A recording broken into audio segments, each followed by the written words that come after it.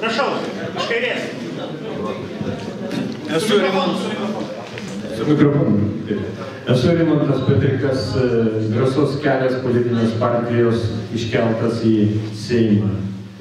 Mano toks uždavinys atėjus į Seimą bus kažką tai padaryti radikalaus, nes mūsų partija, jos numeris yra devintas, yra radikali partija, susikūrusi ant skausmo, ant žmonių skurdo, ant žmonių vilties. Trys pažadai. Todėl visų pirma bandysiu įkurti e, valstybingumo komitetą, naują komitetą, kuris rūpintųsi pačią valstybę. Jo pirmas uždavinys bus atstatyti Lietuvos valstybingumą. Konkrečiai tai atstatyti keturių pakopų teismų sistemą ir įpareigoti, įstatymų įpareigoti aukščiausiai teismą, kad jis įspręstų visas jį pasiekusias bylas. Antrą ką bandysiu padaryti šitame komitete, tai e, privačių antstolių kontorų funkcijas perduoti valstybiniai mokesčių inspekcijai prie Lietuvos Respublikos finansų ministerijos. Jei ministerijai perėmus funkcijas, ministerijos klerkams nereiks maitintis iš, iš mūsų Lietuvos valstybės žmonių skolų. Jos e, ir iki dabar ir remia, juos, kaip sakyti, jie gauna atlyginimus iš valstybės. Todėl bus daug lengviau sutvarkyti skolų išieškojimo terminus. Pavyzdžiui, e, vieno tūkstančio eurų Trumpiau. Tai, tai gerai, aš galiu dabaigti. E, vieno tūkstančio eurų baudą, juk skolą valstybei galima išdėstyti metams. Dviejų tūkstančių e, eurų e, skolą galima išdėstyti dviems metams. Kodėl dabar antstoliai turi išsireikalauti skolą per vieną, per keletą dienų? Pažadas, trečias pažadas. Tai aš lyg tai tris jau pasakiau. Viskas, Gerai, puiku. Kolegos, koncentruokitės, nes įspėju kandidatus. Kuo ilgiau kalbat, kvailiau atrodo. Čia mano pastaba iš šono.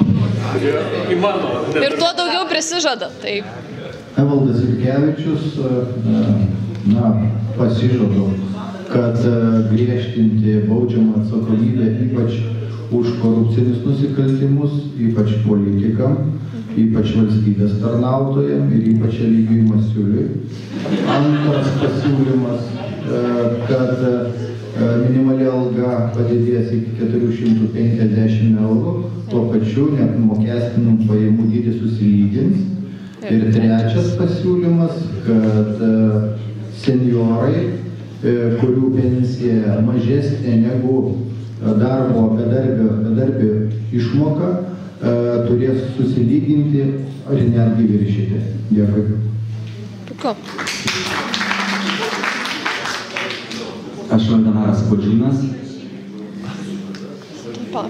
jeigu pateksiu Seimą, dėsiu visas pastangas, kad surinkama Klaipėdoje klaipėdiečių gyventojų pajamų mokesčio dalis, perskirstant biudžetą, padidėtų, Klaipėdų skiriamo biudžeto dalis padidėtų bent 10 procentų.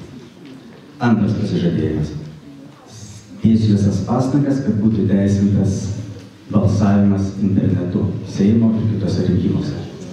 Ir trečias, dėsiu visas pastangas, kad būtų atkurtas mokytojo profesijos prestižas, visų pirma, visų pirma ženkliai pakeliant atlyginimus.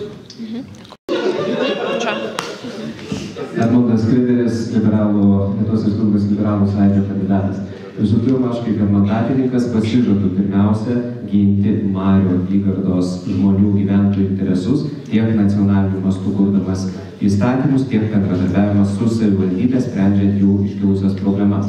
Čia yra pareiga. E, ir pareiga ir pažadas, jeigu o šiais pažadų negali būti.